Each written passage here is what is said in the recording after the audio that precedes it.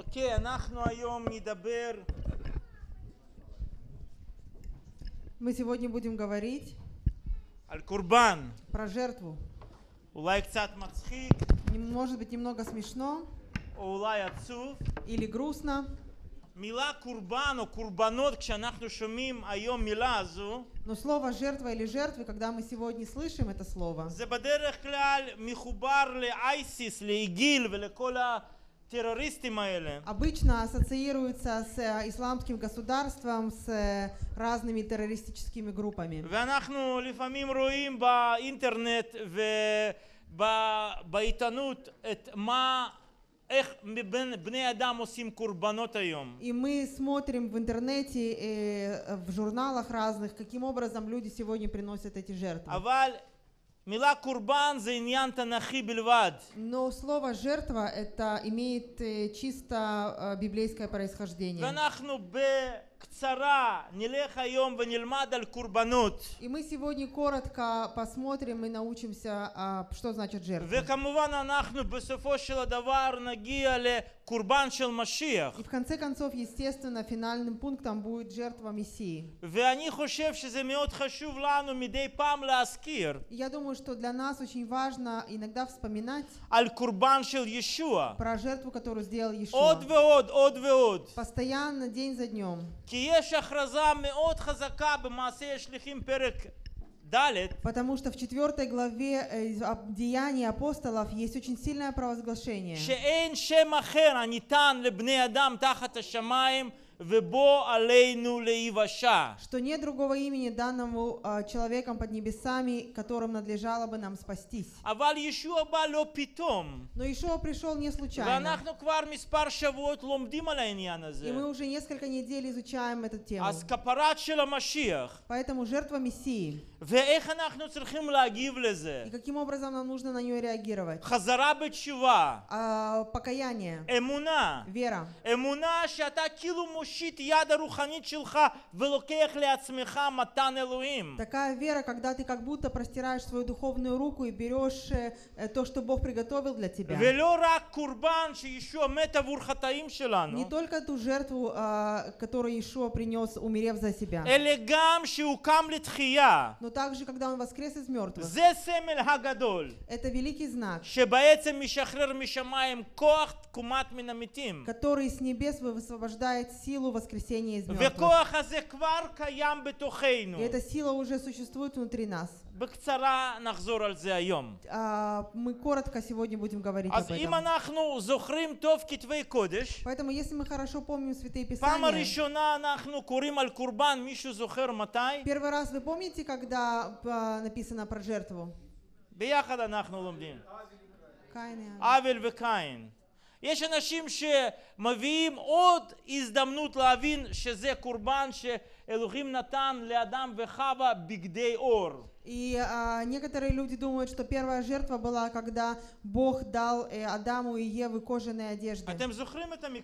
Помните этот случай? Я сомневаюсь в том, что это была жертва. Я думаю, что это связано с эпидермисом. כשאלוהים פשוט חיזק את האור של האנשים נגד כל הדברים מסביב, כי הם יוצאים מהגדן. Что Бог просто укрепил кожу человека против э, окружающей среды. אבל הנה אבל וקין. Но Каин и Авель, האם הם הביאו את הקורבן שלהם כקורבן החלפה עבור ה- ה- הטבע החוטא שלהם? принесли ли они жертву как жертву жертв- а, при греш- за грех против грешащей природы? אני ממש בספק שזה היה בדיוק ככה. Я не думаю, что это было так. כי קורבן עבור, קורבן החלפה זה צ- צריך להיות עם שפיכת דם. Потому что жертва а, замещения должна сопровождаться проливаемой אבל кровью. מה שקרה שם עם קין והבל זה היה מתנה מפרי הראשון. но то, что было в случае Каина Авеля, это был дар Богу от первых плодов. Как сегодня учил Дима, они почитали, принесли уважение э, великому царю, то есть Богу. И они дали самое лучшее от трудов своих рук. И мы видим, что жертва Каина была менее хорошей. Не из-за того, что это был плод от, э, э, от земли. Но из-за того, что его сердце было не вполне предано Богу. כנראה לא עד הסוף היה מודה לאלוהים. Скорее всего, он не до конца благодарил Бога в сердце פעם своем. השנייה שאנחנו קוראים על קורבן, Второй раз, когда мы читаем про זה жертву, נוח. это Ноах. אתם זוכרים, אחרי שמבול נגמר, Помните, когда закончился потоп, ונוח לוקח מ- מטבעה חיות נקיות, Ноах при, э, забирает из своего ковчега чистых животных. פה אנחנו כבר רואים טעם של החלפה. Здесь мы уже чувствуем такой э, запах замены. אנחנו לא רואים את זה בהחלט במילים, Мы не видим это в словах, אבל כאן אנחנו כבר מרגישים את זה, כי הוא כאילו מכריז בקורבן הזה, но здесь мы чувствуем, потому что он провозглашает вместе с этой жертвой, שהנה, לפניי דורות מתו, что вот передо мной умирали поколения. И я тебе, Господь, переносу в жертву этих животных. И благодарю тебя за то, что ты спас меня и мою семью. Потом мы, uh, мы подходим к Аврааму, и там тоже были жертвы.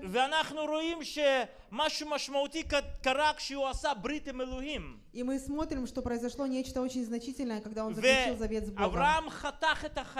Авраам раз, э, э, разрезал животных. Кто помнит э, в Святых Писаниях написано об этом? Олам, но это опять-таки не было жертва замещения за грех. Это было как э, обещание одного другому. То есть давай мы будем стоять в завете с один с другим. Или а, огонь э, идет и пожрет того, кто нарушил завет. כלומר, זה היה משהו כמו חוזה עם תנאים שונים. То есть это было как, дог- был как договор с различными условиями. אבל קורבן יצחק, Но жертва Ицхака, זה היה כבר כיוון לקורבן החלפה. то э- это уже было направление к жертве замещения. אנחנו רואים כשאברהם לא הצליח, Мы видим, что когда Аврааму не удалось, ומלאך עצר אותו, и, Ав- и ангел остановил его, אנחנו רואים שפתאום יש ב... ב- בסי- בסיף... ס- ס- בתוך העצים שם, בסעיף, אה, נ- נתפס שם את ה- אה, את הכבש גדול. мы видим, что а, а, мы- Авраам увидел запутанного в кустах а, овна. והוא הקריב אותו במקום יצחק. И он принес его в жертву вместо Ицхака. אחר כך אנחנו לומדים שכבר עם ישראל יוצא ממצרים, Потом мы видим, что народ Израиля выходит из Египта, ומשה מגדיר מערכת שלמה של קורבנות. и Муше устанавливает целую систему жертвоприношений. היו שם קורבנות כאלה קצת חפיפיות, לחם ושמן, Были а, достаточно легкие жертвы, э, хлебное жертвоприношение, и елей возлить нужно было. שעדיין היה מאוד מאוד חשוב. Хотя они тоже были очень важные. אבל במרכז היה עומדת קורבן עולה, שם של הקורבן עולה, Что это за... возношение. Но а, самая центральная жертва была жертва возношения. пара, когда приносили э, корову о или быка, о эвен, э, э, о, овна, овна, или когда приводили э, барана, овна, тельца. И священник. Принос, приводил того э, человека, который приносил в жертву этого. И этот человек, э, который принес жертву, возлагал руки на эту жертву и провозглашал, «Господь, я согрешил перед тобой, אני אמור למות. и за каждый грех я должен כי умереть, יש משפט, потому что есть суд. או בחיים האלה או בחיים אחרי חיים. Или в этой жизни, или в той жизни. ועכשיו אני מקריב את הקורבן, И теперь я приношу жертву, ואני מעביר את חטאים שלי עליו. и мои грехи я переношу на него. דבר מאוד מוזר. Очень странная вещь. אבל זה בעצם מה שהיה. Но это то, что было. אנחנו זוכרים ש... בעיה שעם ישראל היה ניקח. Мы помним, когда народ израильский был взят в плен вавилонский. И на 70 лет прекратилось всякое жертвоприношение. Храм был разрушен. И когда нет храма, то нет где приносить жертвы. Потому что первая программа была в пустыне. Но когда зашли в обетованную землю. Бог сказал ясным образом, только в определенном месте вы можете приносить мне жертвы. И вначале это было Шилу в Самарии.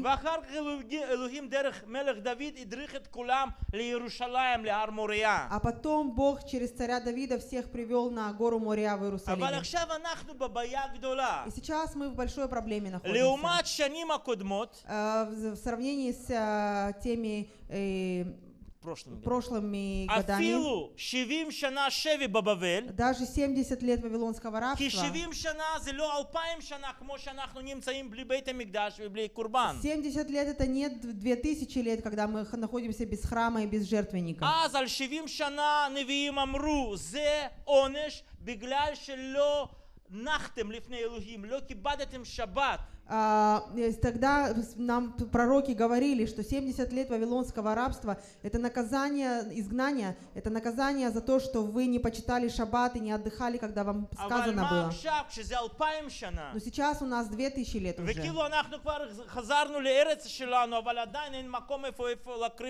И мы вернулись в нашу землю, но до сих пор нет у нас места, где приносить жертву. А, э, стандартный иудаизм нашел выход, как э, действовать в этой אמרו, ситуации. אמרו ככה, Сказали так, תפילה, молитва, מצוות, заповеди, תפילין, э, на- накладывать тфилин, וזהו. и все. זה כבר מחליף לקורבנות. Это замена жертвы. אני ממש לא חושב ככה, Я на самом деле с этим не согласен. ומי אני בשביל Кто я לחשוב? такой, чтобы думать? אגב, ביהדות גם יש חילוקי דעות על העניין הזה. Естественно, и в иудаизме очень много различных мнений по этому האם вопросу. שמעתם מי זה רמב"ם? Слышали э, к- имя такое Рамбам? יש לנו בית חולים בשם רמב"ם, У нас есть больница Рамбам. גדול ביהדות. Это великий человек в иудаизме הוא был. אמר Он сказал, что нет э, уже смысла в жертвах.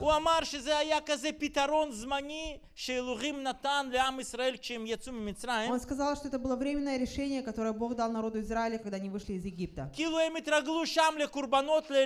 То есть они там привыкли приносить жертвы э, богам. И теперь мы вот им дадим небольшой, э, небольшой период времени жертв, потом мы их освободим от этого. Так он сказал. Другие мудрецы говорили по-другому, они с ним не соглашались. Они говорили, это а, заповедь на веки веков. Так где же мы? Нужно ли нам это или нет? האם אלוהים נתן איזשהו פתרון? Дал ли Бог какое-то другое решение? כמובן, כמאמינים במשיח אנחנו יודעים על פתרון. Естественно, как верующие в Машеха, мы знаем, что, что это за решение. אבל הנ- הנושא הזה, הפתרון, Но вот это решение, эта тема עם решения, קורבן של בן אדם, а, жертва человека, זה לא דבר חדש. это не что-то новое. אתם מכירים, אנחנו משתמשים פה פעמים רבות מילה מדרש. Вы знаете, мы часто используем слово мидраж.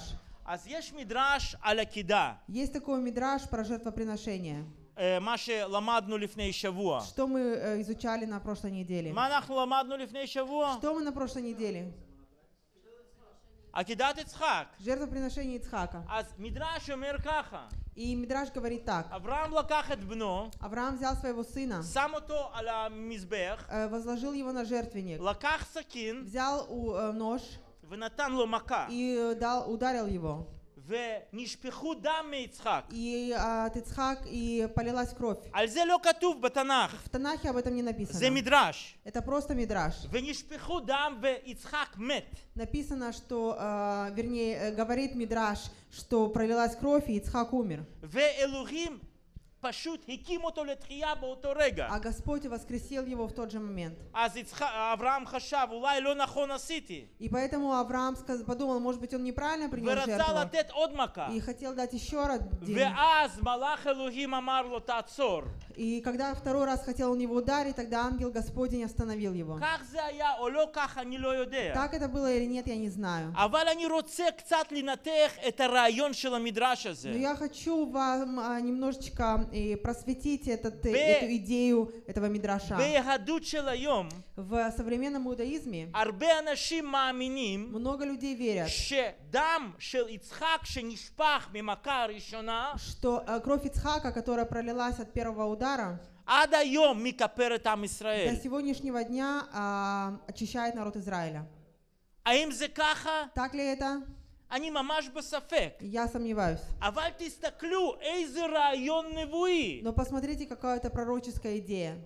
ואנחנו יודעים שיצחק זה ממש בגדול דמות של ישוע, אם אז אולי מה- הכי ברור בכתבי קודש. И мы знаем, что, возможно, из всех э, прообразов святых писаний Ицхак самый яркий прообраз Иешуа. ואת כל הכוונה שדם הנשפך של האיש צריכה להיכפר.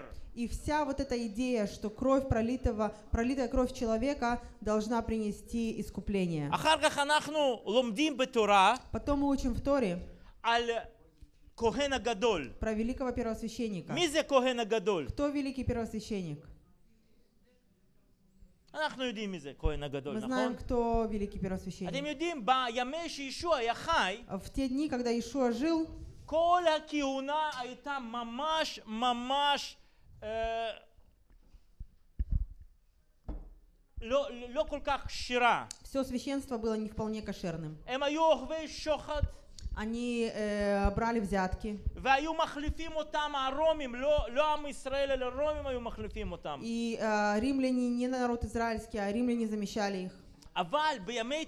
Но в дни Торы מקום של כהן הגדול זה היה מקום ממש מכובד. место первосвященника было самым а, почетным и בן величайшим. אדם מובחר היה מגיע למקום הזה. Только самый избранный человек мог достичь היו этой מסתכלים позиции. עליו כמו על איש קדוש. На него смотрели как на святого человека. ובטח אתם זוכרים בתורה יש כזה ביטוי אה, עיר, אני שכחתי שם של ה... עיר, עיר הניס... כאילו עיר איפה היו נ- נכנסים את, אה, את הרוצחים שרצחו את הבן אדם ללא כוונה. И вы помните, что в Торе есть такие Миша отделенные Зохер? города, מקלט, עיר מקלט. отделенные города убежища, куда заходили а, убившие других людей אתם מכירים את יוקנעם? нечаянно. יוקנעם זה אחד מהערים כאלה. Вы знаете, что Йокнам это один из таких городов. על מה מדובר שם? О чем говорится? אם בתוך העבודה, במשך העבודה קרתה איזושהי תאונת עבודה או, או בלי כוונה בן אדם היה הורג את מישהו אחר, Если произошла как какой произошел несчастный случай, и один человек без намерения убил другого, אז הוא היה רץ ליוקנעם או ל... היו עוד, הרב, עוד, עוד ערים מקלטים כאלה בכל מדינה. то он мог убежать в Йокнам или в другие города убежища. אז הוא לא היה ממש בבית סוהר, אבל עיר הזה היה בית סוהר שלו. Он не был как бы в тюрьме, но этот город стал для него тюрьмой. אבל כתוב בתורה, И написано в Торе, אם ימות כהן הגדול, что если умрет великий אז первосвященник, כל האלה הרוצחים משתחררים. то все эти э, убийцы могут, э, как бы убийцы не Кломар. намеренные, освободиться. מוות של כהן הגדול, То есть смерть великого первосвященника, מוות של איש הקדוש הזה, а, све- смерть этого великого הייתה человека בעצם תחליף было замещением за все грехи этих людей.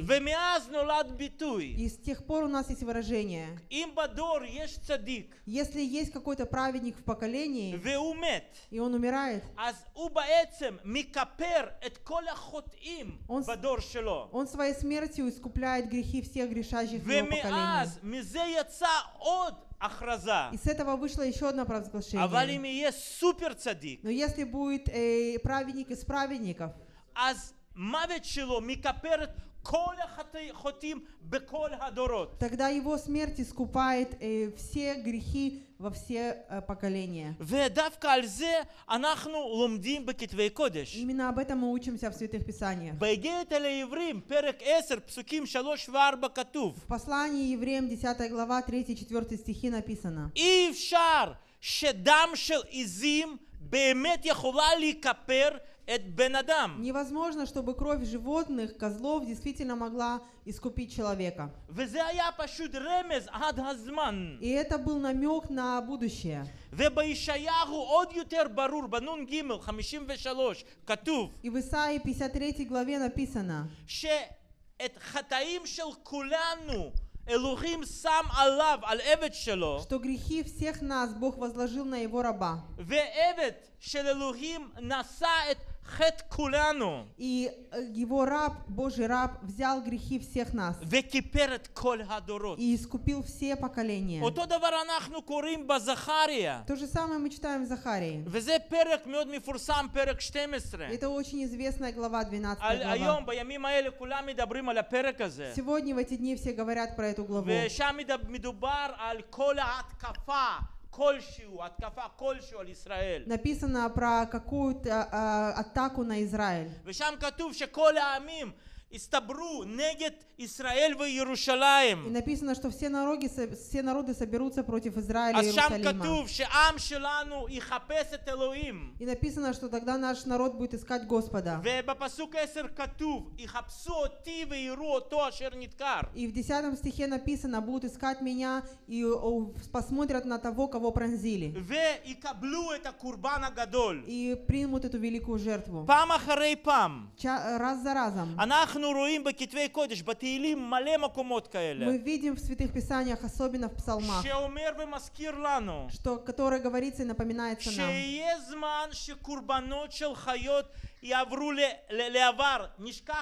что будет время, когда жертвоприношение животных это будет делом прошлого. Но Господь принесет другую жертву. В один день Иешуа процитировал это слово. А жертвы не захотел. Но тело уготовил мне. Это очень известное место в псалмах. Когда еще говорит со своими учениками, он говорит, я добрый пастырь. Я жизнь свою полагаю за овец. И кто примет эту жертву, принимает прощение грехов. В Евангелии от Иоанна во второй главе, когда говорится про храм, еще умер, שברו את הבית המקדש הזה, Иешуа говорит, разрушьте этот храм. ובשלושה ימים אני אקימו. и Я в три дня восстану, איך восстановлю להבין את его. המילה הזו? Как можно понять это слово? בית המקדש זה מרכז של כל ציפייה, כל חיים, כל תקווה של יהודי. Хра- Храм — это а, центр надежды, ожидания и жизни всех евреев. И было другое слово, а это было слово лаван. Лама лаван? Почему лаван? Потому что он а, очищал, он а, отбеливал и человека от греха. И естественно в храме был э, жертвенник и были э, и жертвы. И потом Иешуа говорит про себя я этот храм. То есть он говорит, я белый храм, и я жертвенник, и я сама жертва. Если вы разрушите меня, за три дня я воздвигну этот храм. Он говорил про воскресение из мертвых. Вы знаете, говорить можно все, что угодно. Вы можете встать сюда и сказать такими же словами, я есть храм. אבל המילים של ישוע שונים משל מילים שלנו. Но слова Иешуа отличаются от наших слов. כי תמיד מה שאמר עשה. Потому что он то, что говорил, он и делал. ואנחנו זוכרים כשאיך שהוא ריפא את И החולים. мы помним, как он исцелял больных. מי זוכר את הסיפור איך הוא אמר לפני רפואה לבן אדם חולה, אני סולח לך חטאים? Кто помнит такой рассказ, когда перед тем, как исцелить э, Больному он сказал, прощаются тебе грехи твои. אז אנשים היו מסביב, אמרו, מה אתה עושה? מי אתה? אלוהים שאתה סולח את החטאים? И люди вокруг, слышавшие это, сказали, да кто ты такой? Ты разве אז Бог, יש- чтобы прощать грехи? ישוע אמר, קיבלתי סמכות И מאלוהים, Ишуа говорит, я получил власть от Бога. ושאתם תראו שהסמכות שלי И מאלוהים, когда вы увидите, что моя власть от אני Бога, גם מרפא את הבן אדם הזה, я т- как результат этого исцелю этого שהוא היה человека, משותק. который был אז парализован. אומר, תקום וקח את המיטה שלך. И он сказал, встань и возьми свою постель. И это произошло. Поэтому в чем там дело? Каждый может говорить все, что угодно. Когда дело не доходит, э, а когда не доходит до дела. Ты тоже можешь сказать, я прощаю тебе грехи. Папа в римский может говорить, я тебе прощаю грехи. И Рав э, в синагоге может сказать, прощаются тебе грехи. מולה בתוך המסגד יכול להגיד, אוקיי, סלחתי לך. נו. И мула в э, э, мечети может сказать, все, я тебя простил. אבל יש פה תמיכה במילה אחרת. Но здесь есть поддержка другого. с- תקום ממיטתך. Он а, не только сказал, он сказал, и он и исцелил, сказал, встань. ועוד יותר מסובך, И более сложно. כשישוע מדבר על עצמו, Когда Ишуа говорит сам про себя, הוא אומר, אני הולך למות, он говорит, я ум- иду на смерть. וביום השלישי אני אקום לתחייה. И в третий день я воскресну из мертвых. אם אנחנו קוראים איגרת לרומים פרק אחד, Е- Если мы читаем Римлянам первую главу, וארבע פסוקים הראשונים, первые четыре стиха, שם כתוב משהו מאוד יפה. там написано нечто очень прекрасное. שליח שאול אומר ככה, אני עבד אדוני, Апостол Павел говорит, я раб Господа. אלוהים קרא אותי שאני אדבר בשורה, Бог меня призвал к благовестию. והוא נתן לי מטרה להסביר לכולם על בנו יחידו שנולד מבית דוד, и он дал мне а, объяснить всем про его единородного сына, который родился в доме Давидова. Но в четвертом э, стихе у нас есть ключевое слово. Который открылся Божьим сыном через воскресение из мертвых. Шауль говорит следующее. Йоханан, Матай, Андрей, השליחים הראשונים, Иоанн, Андрей, Матфей, первые апостолы, היו אומרים כל הזמן, שמענו קול משמיים, постоянно говорили, мы слышали голос небес, שהיה מכריז על ישוע זה בן היחיד שלי. который провозглашал, а Ишо это мой единственный сын. ושאול אומר כאילו ככה, И Шауль говорит так, זה טוב ויפה это ששמעתם, очень хорошо, что вы слышали, אבל אם מישהו לא שמע, но если кто-то не слышал, אז איך הוא יכול להאמין? как он может ус- אבל поверить? כאן יש לנו הוכחה ברורה, Но здесь у нас нас есть ясное доказательство, что человек воскрес после смерти. И, на, и так, так Бог провозгласил. Алло? Алло? И таким, таким образом Бог провозгласил, что это שזה דרך איך אלוהים רוצה לתת לנו סליחות.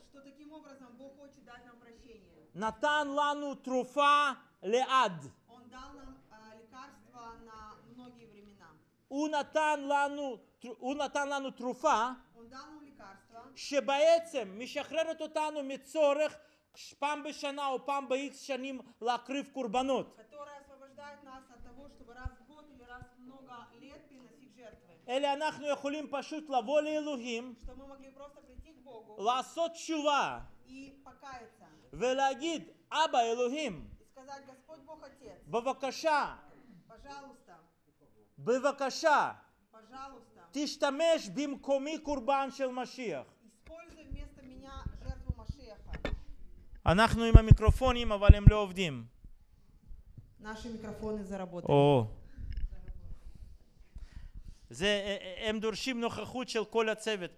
Они לעשות. требуют э, всех э, сотрудников здесь. אבל Но בתרופה הזאת יש תוצאות לוואי. а, у у этого лекарства есть побочные эффекты. Кто из вас знает, что у каждого лекарства есть побочные эффекты? Есть хорошие побочные эффекты. И есть плохие. Аз, гам, בתרופה שאלוהים נתן לנו, Вот э, лекарство, которое Бог дал нам, את ישוע, это Иешуа, את ההחלפה. это замена. יש כמה תוצאות לוואי לא טובים, Есть э, некоторые побочные эффекты нехорошие, ויש כמה מאוד טובים. и есть некоторые очень хорошие. מי יכול להגיד מה זה לא טוב? Кто может сказать, что нехорошо? אה? כמובן. אוקיי, תוצאה לא טובה בעיניי, אולי אתם אוהבים את זה, אני לא, Э, нехороший результат, э, мне так кажется, может вам нравится, но мне не очень. שישוע אמר, Что Ишуа сказал, מי שהולך אחריי תמיד יקבל רדיפה. кто будет идти за мной, тот будет постоянно в гонении. רדיפה. Постоянно он будет, э, за З- ним будут э, гоняться. זה משהו לא נחמד. Это не самое приятное. אתה Тебе как будто каждый раз нужно стоять перед зеркалом. Это не если ты в Иране или в Судане живешь. שם רודפים אותך באמת. Там действительно тебя а, а, и за тобой או бегают. תסתכלו מה קורה עכשיו בעיראק או בסוריה, הם חותכים ראשים של מאמינים באיש. Или послу- посмотрите, что сейчас происходит в Ираке или в Сирии. Они просто режут, перерезают горло верующих в אבל Иешуа. אם אתה גר במדינה מתוקנת, Но если ты живешь в нормальной стране, אז אתה לפעמים מגיע למקום то иногда ты приходишь в такое место, когда ты судишь самого себя. И когда ты э, решаешь идти прямым путем, тогда все вокруг тебя говорят, ты что, ненормальный? И начинают тебя преследовать только другим образом. Они дают тебе какие-то прозвища או מנסים לא לתת לך להתקדם בחיים. Или пытаются препятствовать твоему продвижению в жизни. זה תוצאת לוואי לא טובה בעיניי. Это, как мне кажется, побочный эффект нехороший. דבר שני, Второе, כבר אמרתי, уже сказал, בגלל שישוע נתן לנו את הדרישה, והדרישה הזאת היא קצת יותר גדולה מאשר אנחנו קוראים בתורה, из-за того, что Ишуа поднял стандарты, и они более высокие, чем даже сама Тора, אנחנו רואים שלפעמים אתה בא למקום איפה אתה אומר, האם בכלל אני ראוי? мы приходим в такое место, где мы смотрим и говорим, достоин ли я вообще? זה עבודה של רוח הקודש, И это уже работа Святого Духа. בגדול זה לטובה, В принципе, она к благо, אבל ברגע הזו זה נותן לך הרגשה לא טובה. но в тот момент у тебя чувство не самое лучшее. השאלה, האם פעם הרגשתם Вопрос, על вы עצמכם, чувствовали такое, אני לא ראוי, что я недостоин? אני לא, לא במקום,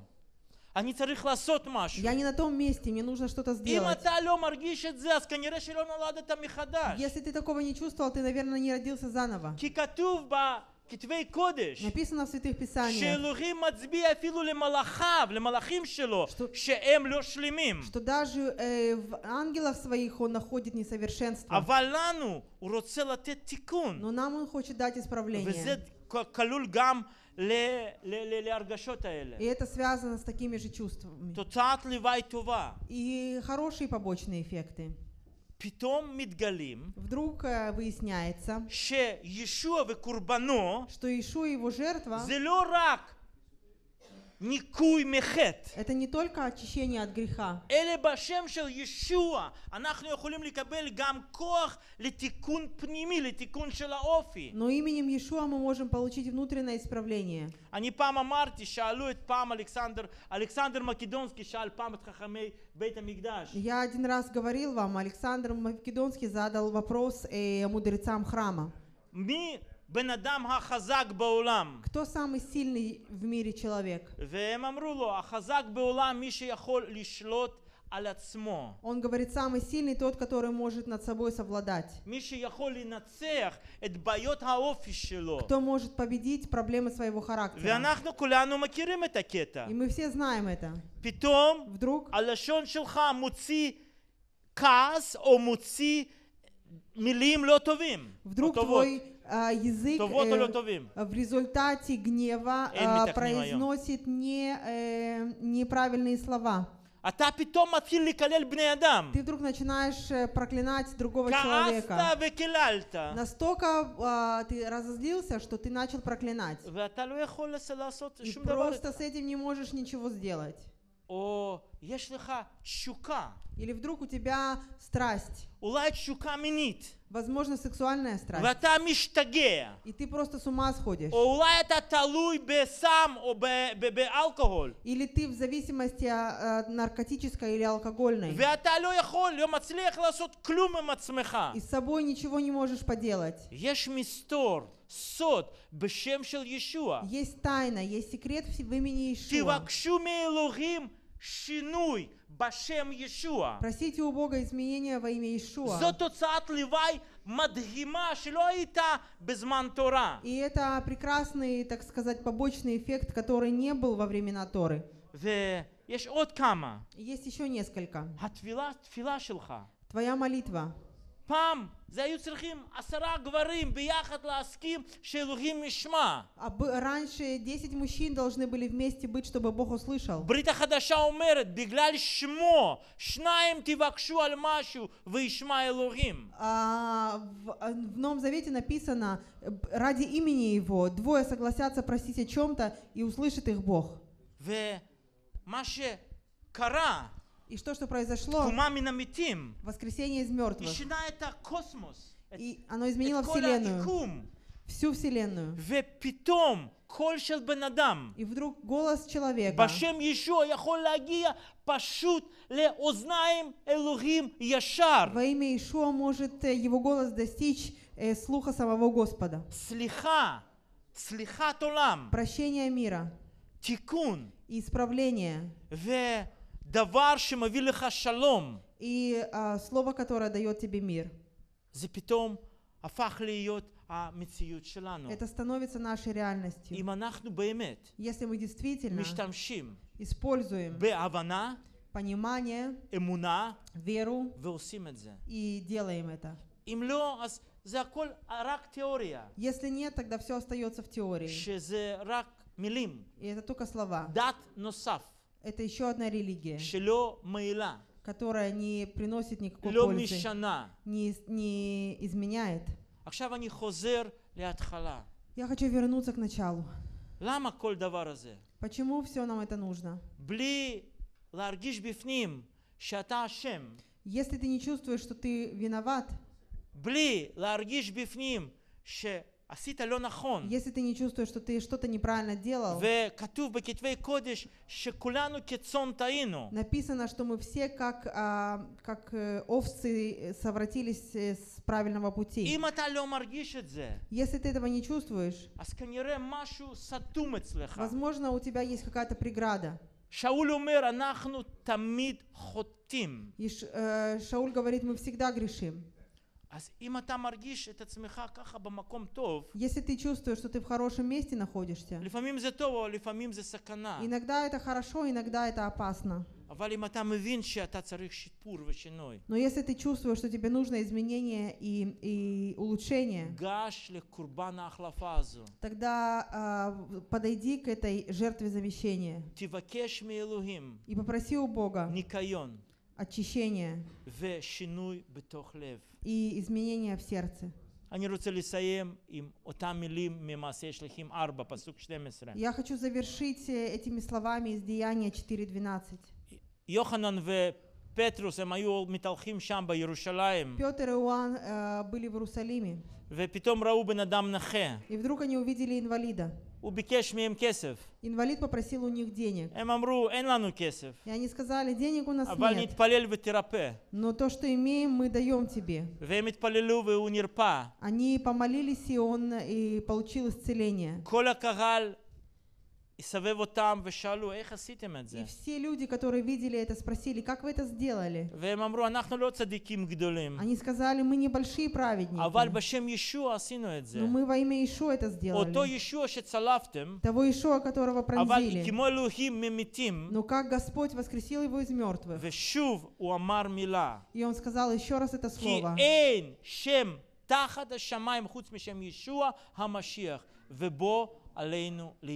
Потому что нет другого имени под небом, кроме имени Ишуа Машеха, который дает нам спасение. Я прошу, чтобы мы все встали и помолились.